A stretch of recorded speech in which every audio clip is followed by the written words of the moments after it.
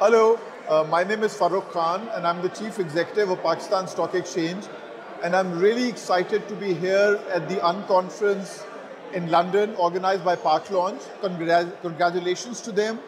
It brings together the exciting tech ecosystem in Pakistan with both domestic and international investors. Um, there are really exciting opportunities in Pakistan. It's the fifth largest country in the world with a very young demographic and technology is the way to take advantage of the opportunities that Pakistan presents. So I wish them all all the best. Thank you.